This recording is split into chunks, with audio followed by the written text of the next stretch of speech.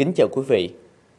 Hôm nay thứ hai ngày 21 tháng 2 năm 2022, mời quý vị theo dõi bản tin buổi sáng của Đài truyền hình thành phố Hồ Chí Minh. Thưa quý vị, thành phố Hồ Chí Minh có vị trí rất quan trọng đối với kinh tế cả nước và từ rất lâu, nhiều thế hệ lãnh đạo của thành phố mong muốn tìm động lực mới để phát triển hơn nữa. Trong đó, việc xây dựng thành phố trở thành trung tâm tài chính của khu vực và quốc tế là ý tưởng đã được rất nhiều chuyên gia kinh tế trong nước và quốc tế ủng hộ sau khi Ủy ban nhân dân thành phố Hồ Chí Minh triển khai nghiên cứu lập đề án xây dựng trung tâm tài chính quốc tế Việt Nam tại thành phố Hồ Chí Minh, trong tháng 4 tới, công ty đầu tư tài chính nhà nước thành phố Hồ Chí Minh sẽ trình đề án. Là đầu tàu kinh tế, thành phố Hồ Chí Minh cần xác định những việc cần làm ngay để sớm tăng trưởng mạnh mẽ trở lại, tiếp tục trở thành động lực tăng trưởng của cả nước trong đó một giải pháp được xem là cú hích cho phát triển kinh tế thành phố và cả nước là đầu tư xây dựng trung tâm tài chính quốc tế tại thành phố Hồ Chí Minh. Hiện nay, thế giới tài chính đang thay đổi rất nhanh, giao dịch số điện tử là xu hướng của năm 10 năm sắp tới, thậm chí là lâu dài. Trong bối cảnh đó, Việt Nam cần định vị cụ thể định hướng của mình. Về trung tâm chảnh quốc tế đó thì thật sự là thành phố đã ấp ủ từ cách đây cũng gần 20 năm rồi và cũng đã khởi động nhiều lần. Nhưng bây giờ là có thuận lợi nhất là đại hội 13 của đảng đó đưa vào nghị quyết của đại hội. Đây là yếu tố rất lịch sử là thành phố Hồ Chí Minh phấn đấu trở thành trung tâm tài chính quốc tế. Thì trong năm nay chúng ta phải khôi phục và phát triển lại và trong đó cái đầu tư cho cái trung tâm tài chính quốc tế à, ra đời tại cái khu đô thị Thủ Thiêm. À, đây là một cái kỳ vọng à, của cái sự phát triển của đất nước cho nên đã được ghi vào trong cái nghị quyết đại hội đảng toàn quốc lần thứ 13. Để có một trung tâm tài chính quốc tế Việt Nam tại thành phố Hồ Chí Minh cần xác định cách tiếp cận, đột phá nhưng kiểm soát được rủi ro. Ủy ban nhân dân thành phố Hồ Chí Minh đã ký kết ghi nhớ đề án xây dựng trung tâm tài chính quốc tế tại thành phố Hồ Chí Minh cùng với tập đoàn Liên Thái Bình Dương. Đề án có cách tiếp cận từ hai chiều, Chiều thứ nhất là tiếp cận từ phía người hoạch định chính sách, xem để xây dựng được trung tâm tài chính thì cần phải làm những gì. Ở chiều thứ hai là tiếp cận từ phía cung, theo đó tạo ra đổi mới chính sách và lắng nghe mong muốn của các nhà đầu tư. Chúng ta lắng nghe nhu cầu của các nhà đầu tư và trên cơ sở đó chúng ta tích hợp giữa cái chúng ta muốn và cái nhà đầu tư muốn để chúng ta ra được một cái đề án. Và lần này thì đề án à, thành phố yêu cầu là phải chuẩn bị không chỉ có đề án có báo cáo tóm tắt đề án mà chuẩn bị luôn các cái tờ trình và các cái nội dung để báo cáo với ờ, quốc hội, với chính phủ và với lãnh đạo đảng và nhà nước và thành phố xác định đây là nhiệm vụ đồng thời là trách nhiệm của thành phố đóng góp vào cái tiến trình hồi phục và phát triển kinh tế của ờ, đất nước chúng ta. Tới thời điểm là cần phải có một cái trung tâm tài chính cho thành phố Hồ Chí Minh và cho vùng để thu hút được cái dòng tiền à, vào đầu tư phát triển. Các chuyên gia đã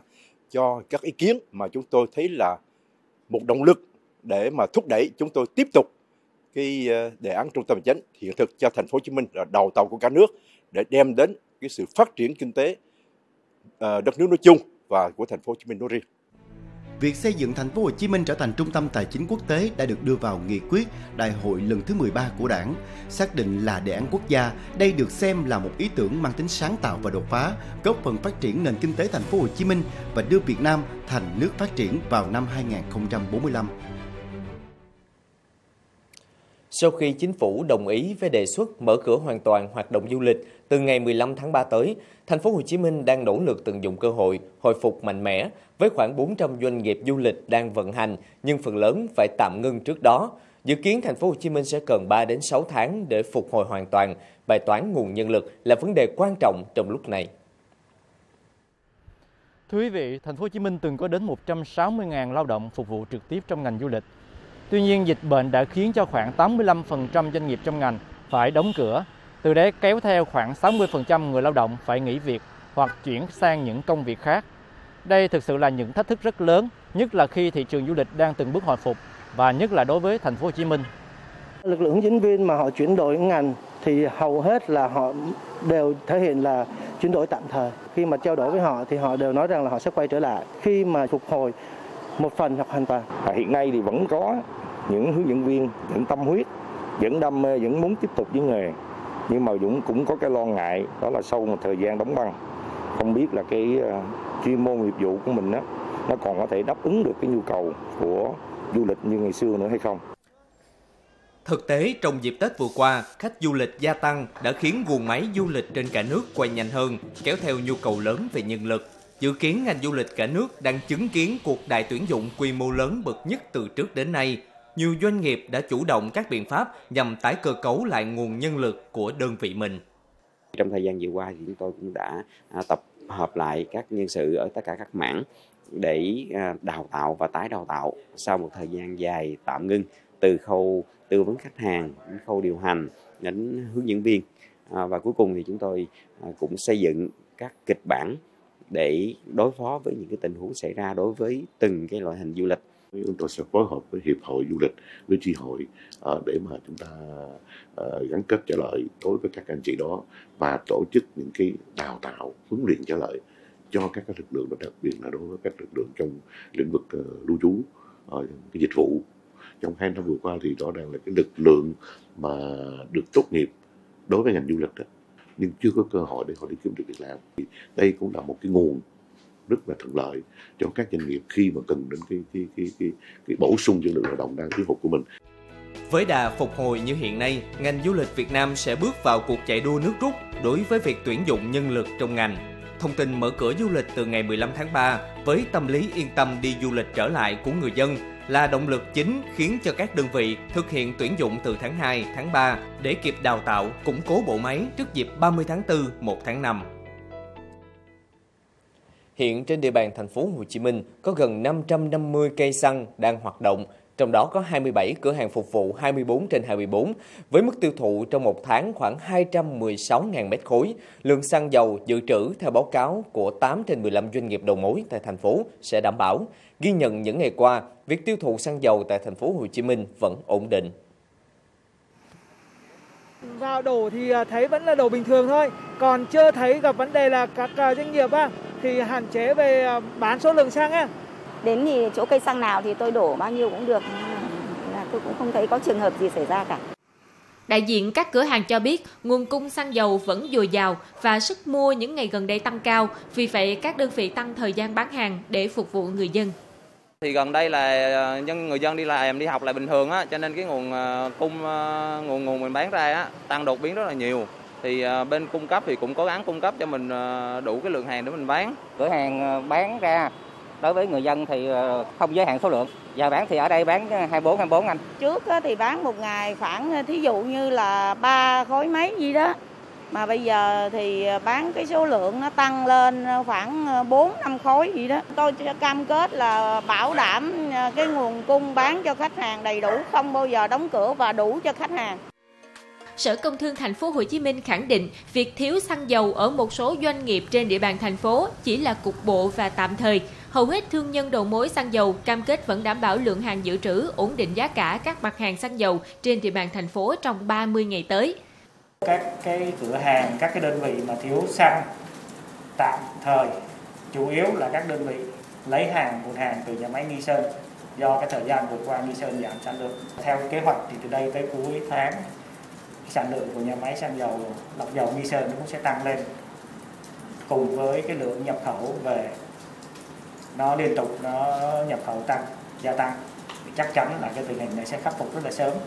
Ủy ban nhân dân thành phố Hồ Chí Minh đề nghị Sở Công Thương phối hợp với Sở Giao thông Vận tải nhanh chóng cấp phép lưu thông vào giờ cao điểm cho các xe bồn vận chuyển xăng dầu nếu họ gặp khó lưu thông. Đồng thời, Ủy ban nhân dân thành phố Hồ Chí Minh sẽ xem xét kiến nghị Bộ Công Thương, Bộ Tài chính nghiên cứu tham mưu chính phủ các trường hợp đặc biệt cần có cơ chế linh hoạt điều chỉnh giá xăng dầu kịp thời để các doanh nghiệp đầu mối chủ động điều phối nguồn cung phù hợp.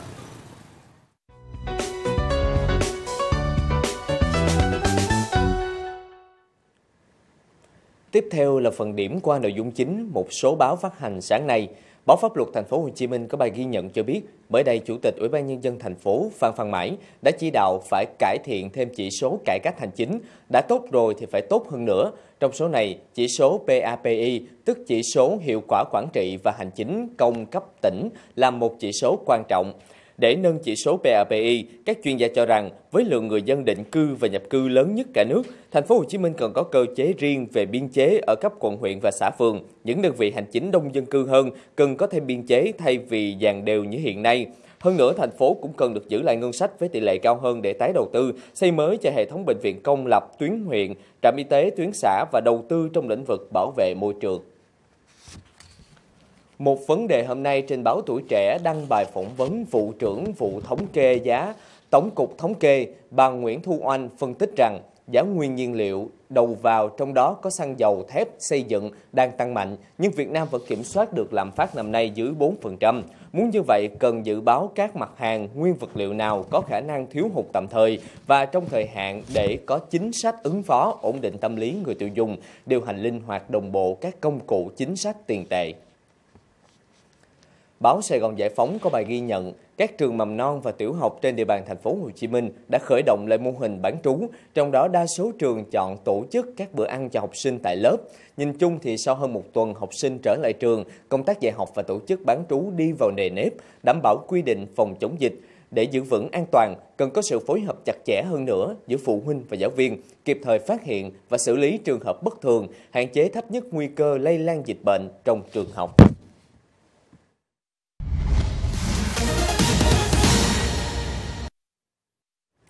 Tiếp tục nỗ lực ngoại giao nhằm hạ nhiệt căng thẳng, hôm qua Tổng thống Pháp Emmanuel Macron đã điện đàm với người đồng cấp Nga Vladimir Putin. Cuộc điện đàm diễn ra hai tuần sau khi ông Macron đến Moscow để hội đàm trực tiếp với Tổng thống Nga về tình hình an ninh khu vực.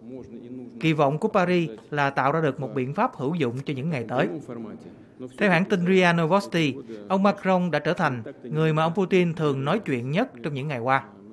Cuộc điện đàm diễn ra một ngày sau khi Tổng thống Pháp điện đàm với người đồng cấp Ukraine Volodymyr Zelensky. Cụ thể, hai nhà lãnh đạo Nga và Pháp đã đồng ý về sự cần thiết để tìm ra giải pháp ngoại giao cho khủng hoảng hiện tại, nhằm đảm bảo hòa bình, an ninh cho khu vực. Một quan chức cấp cao của Iran hôm nay cho biết cuộc đàm phán để khôi phục thỏa thuận hạt nhân Iran 2015 đang có tiến triển tốt, dù vẫn có một số vấn đề cần giải quyết Tuyên bố được đưa ra trong bối cảnh các bên đều đang đẩy mạnh các nỗ lực ngoại giao nhằm hồi sinh thỏa thuận hạt nhân ký năm 2015. Ngày 19 tháng 2, hãng tin Tasnim của Iran dẫn lời ông Mahmoud Abbaszadeh Meskini, phát ngôn viên của Ủy ban Chính sách Đối ngoại và An ninh Quốc gia của Quốc hội Iran cho biết vẫn còn một số vấn đề cơ bản cần được giải quyết để tiến tới thỏa thuận cuối cùng. Ông cũng kêu gọi các nước phương Tây, đặc biệt là Mỹ, dỡ bỏ các lệnh cấm vận đối với Iran Iran và nhóm P5 cộng 1 ký thỏa thuận hạt nhân vào tháng 7 năm 2015, nhưng chỉ chưa đầy 3 năm sau đó đã bị đổ vỡ một phần do quyết định rút lui của chính quyền Tổng thống Donald Trump. Sau khi Mỹ có chính quyền mới, các bên đã nối lại các nỗ lực ngoại giao và đến nay đã tiến hành được 8 vòng đàm phán tại Viên, Áo. Nhiều ý kiến cho rằng đây có thể sẽ là vòng đàm phán cuối cùng giữa các bên.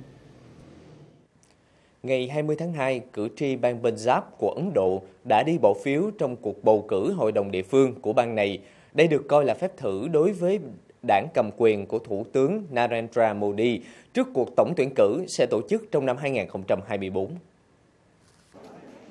Cuộc bầu cử tại bang Punjab năm nay được đánh giá Ngày 20 tháng 2, Cung điện Hoàng gia Anh thông báo nữ hoàng Elizabeth đệ nhị 95 tuổi có kết quả xét nghiệm dương tính với virus SARS-CoV-2.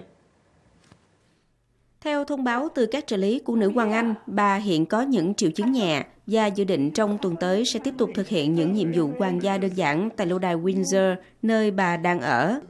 Thông báo nêu rõ nữ hoàng Anh sẽ được theo dõi y tế thường xuyên và đảm bảo thực hiện các hướng dẫn phù hợp. Trước đó, ngày 10 tháng 2, Thái tử Charles là con trai cả và cũng là người thừa kế của nữ hoàng Anh, cũng đã được xác nhận mắc COVID-19. Ông nhận kết quả dương tính chỉ hai ngày sau khi tới thăm nữ hoàng tại lâu đài Windsor. Trước đó, Điện Buckingham từng thông báo nữ hoàng Anh đã được tiêm phòng COVID-19 đầy đủ. Trận cháy rừng nghiêm trọng ở tỉnh Corrientes, miền đông bắc Argentina đã tiêu thụ gần 800.000 hecta đất, tương đương 9% diện tích tỉnh này. Trận cháy đe dọa sinh mạng động vật hoang dã trong vườn quốc gia Ibera, vùng đất ngập nước lớn nhất và là một trong những hệ sinh thái lớn nhất cả nước. Nhiều động vật đã chết trong đám cháy hoặc bị nhiễm độc do khói, những con khác bỏ chạy và đã mất nơi ở sau khi môi trường sống của chúng bị phá hủy. Thống đốc tỉnh Corrientes gọi đây là một thảm họa sinh thái và môi trường. Lực lượng chữa cháy vẫn đang làm việc ngày đêm để kiểm soát đám cháy, nhưng công tác này gặp nhiều khó khăn do nhiệt độ cao và độ ẩm thấp. Cơ quan y tế Malawi vừa tuyên bố bùng phát virus bại liệt hoang dã loại 1 tại nước này sau khi phát hiện ca bệnh ở một bé gái 3 tuổi tại thủ đô Lilongwe. Châu Phi đã tuyên bố không còn bệnh bại liệt hoang dã bản địa vào tháng 8 năm 2020 sau khi loại bỏ tất cả các dạng bệnh bại liệt hoang dã ở khu vực này. Phân tích trong phòng thí nghiệm cho thấy, virus bại liệt được phát hiện ở Malawi có liên quan đến chủng virus lây lan ở tỉnh Sindh của Pakistan. Các nhà chức trách Malawi hiện đang nỗ lực ngăn chặn bất kỳ khả năng lây lan nào bằng cách tăng cường tiêm vaccine bại liệt. Bệnh bại liệt hiện vẫn còn lây lan ở Afghanistan và Pakistan. WHO và các đối tác đã nỗ lực trong nhiều chục năm qua để chống bệnh bại liệt. Ban đầu họ đặt ra mục tiêu là loại trừ hoàn toàn căn bệnh này vào năm 2000 nhưng chưa đạt được. Nhiều biện pháp kiểm soát bệnh bại liệt đã bị tạm dừng do đại dịch COVID-19, khiến cho bệnh có thể tiếp tục lây lan. Một số quan chức cho rằng đây là bước lùi lớn trong nỗ lực loại bỏ hoàn toàn bệnh bại liệt.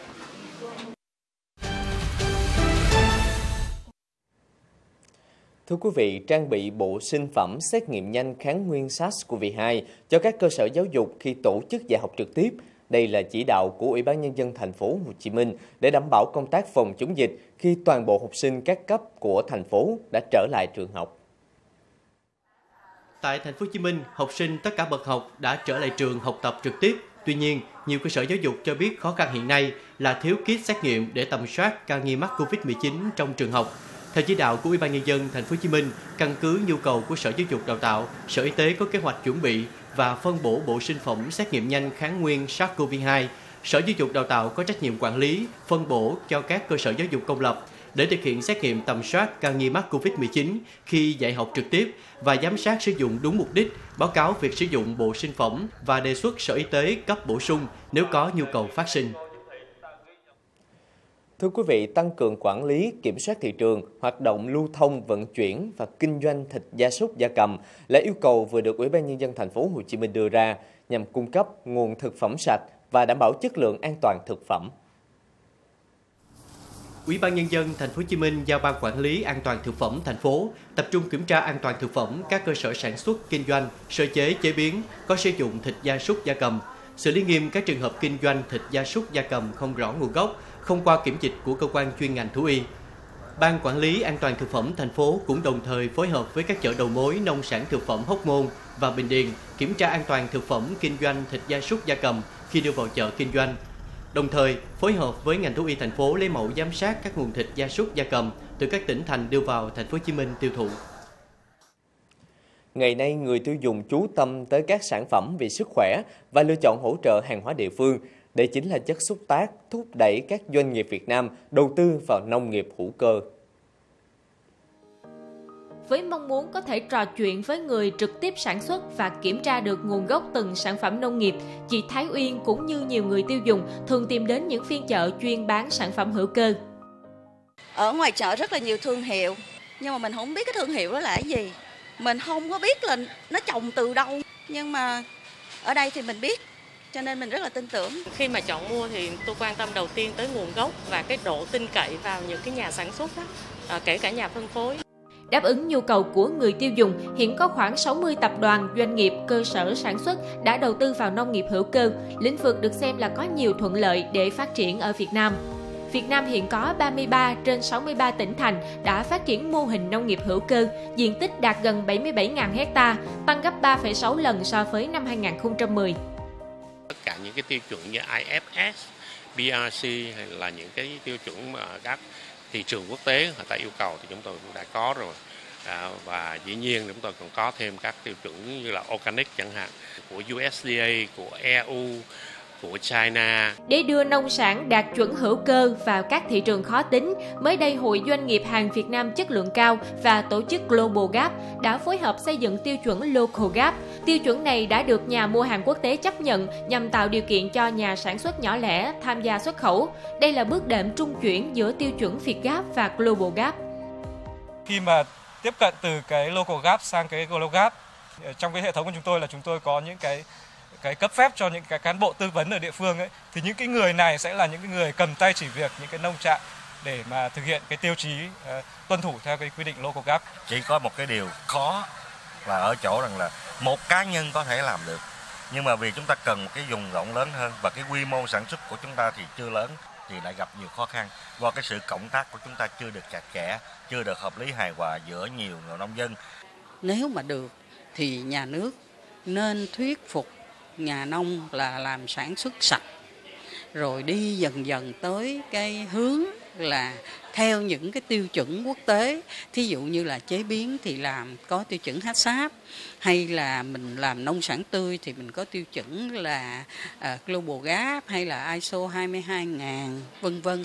Rồi mới hướng lên hữu cơ. Theo các chuyên gia, sản xuất hàng organic đã và đang mang lại những kết quả ban đầu khả quan. Tuy vậy, các doanh nghiệp Việt Nam vẫn đối mặt với nhiều khó khăn như chưa có hệ thống tiêu chuẩn chứng nhận và đánh giá rõ ràng, chi phí đầu tư và giá thành cao, khó khăn trong việc mở rộng chuỗi cung ứng nuôi trồng, sản xuất và phân phối, tài nguyên đất hạn chế. Để thúc đẩy nông nghiệp hữu cơ phát triển, cần giải quyết sớm những lực cản nêu trên, đồng thời có các cam kết, hỗ trợ về cơ chế, chính sách riêng mới thu hút nguồn lực đầu tư nhiều hơn vào lĩnh vực này. Từ hôm nay 21 tháng 2, tỉnh Lạng Sơn yêu cầu bắt buộc tất cả doanh nghiệp xuất nhập khẩu phải khai báo thông tin trực tuyến trên nền tảng cửa khẩu số trước khi phương tiện đến với cửa khẩu quốc tế Hữu Nghị, huyện Cao Lộc và cửa khẩu phụ Tân Thanh, huyện Văn Lãng. Nền tảng cửa khẩu số đi vào hoạt động sẽ giảm bớt được rất nhiều chi phí, thời gian, công sức cũng như khối lượng công việc của các lực lượng chức năng và doanh nghiệp làm việc tại cửa khẩu. Bên cạnh đó, nền tảng cửa khẩu số còn được kết nối với bản đồ số và hệ thống định vị để điều tiết giám sát mật độ, lưu lượng xe hàng trong quá trình đưa lên cửa khẩu. Thưa quý vị, trong suốt 2 năm qua thì cùng với các lực lượng tuyến đầu trên cả nước, các y bác sĩ đã dành tất cả sức lực và tâm trí để chiến đấu chống lại đại dịch Covid-19. Họ đã làm việc một cách tận tụy, hy sinh, tạm gác lại hạnh phúc của riêng mình, hoãn cả ngày kết hôn để dấn thân vào trận chiến. Và trong tối qua thì lễ cưới tập thể của các cặp đôi bác sĩ thuộc Bệnh viện Quân y 175 được tổ chức trong sự yêu thương, sẻ chia từ những người đồng nghiệp, đồng đội, đồng chí và càng thêm ý nghĩa khi thành phố Hồ Chí Minh trở thành vùng xanh, nhịp sống trở lại bình thường. Sau tất cả nỗ lực, các cặp đôi đã cùng nhau bước vào cuộc sống mới với hạnh phúc trọn vẹn.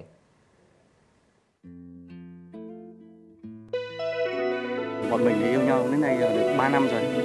và cái thời điểm ờ, bọn mình định chức đám cưới thì rơi vào đúng thời điểm đợt dịch thứ tư của Covid, thời điểm rất là căng thẳng. Mình thì được tăng cường ờ, làm bác sĩ điều trị cho trung tâm điều trị Covid của bệnh viện Quân y 115 vợ mình thì tăng cường cho bệnh viện giã chiến số 4 của tổng cục hậu cần tại Khánh Hòa thì ờ, là bọn mình ờ, xa nhau đúng 6 tháng và cái việc hoãn đám cưới đó cũng chỉ trao đổi qua điện thoại chứ không thể gặp mặt nhau. Tháng 5 năm 2021 sau khi làm lễ đính hôn xong thì tôi cùng với các anh chị tại bệnh viện thực hiện cắm trại tại bệnh viện để bảo toàn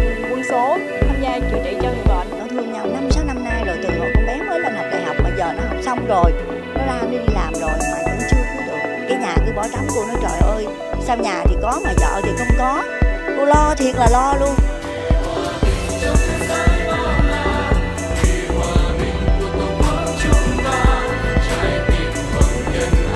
Có những em là hai vợ chồng đều làm tại bệnh viện. Có những em là vợ hoặc chồng làm tại bệnh viện cưới rồi nhưng mà lại chưa được cái đấy là một cái rất thiệt thòi chúng tôi làm cái công của mình cái trách nhiệm của mình. Đối với làm bù đắp lại những cái gì mà các em các cháu nó đã hy sinh nó đã trải qua những cái mà, ờ, mà thiệt thòi thì bây giờ mình đáp lại.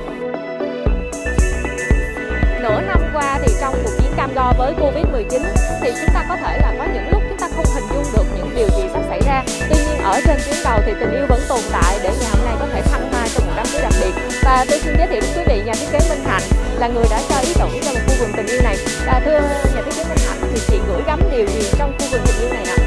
À, đây là chương trình mang tên là mặt sống à, và với tôi thì khởi đầu cho cái sự sống đó chính là nước tôi nghĩ rằng là họ đã trải qua rất là nhiều những cái uh, sự uh, gian khó một cái thời quyền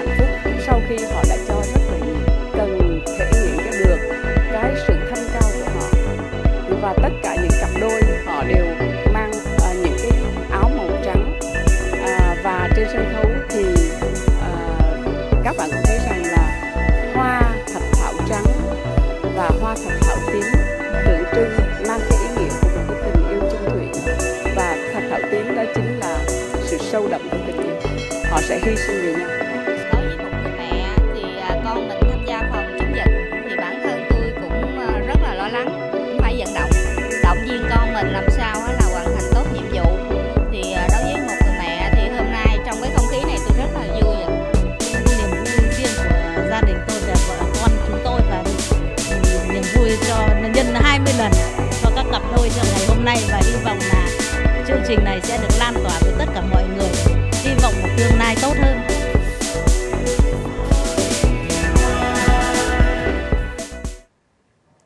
Khi Tổ quốc cần, họ những chiến sĩ Blues trắng đã biết sống xa nhau và hạnh phúc ý nghĩa biết bao khi giữa màu xanh thành phố, niềm vui ngày chung đôi đúng vào dịp chúng ta đang hướng về kỷ niệm Ngày Thầy thuốc Việt Nam 27 tháng 2. Những thông điệp từ sự dấn thân, yêu thương sẽ mãi là mạch nguồn cảm hứng bất tận cho cuộc sống. Đến đây thì thời lượng dành cho bản tin buổi sáng của Đài truyền hình thành phố Hồ Chí Minh đã hết. Trân trọng kính chào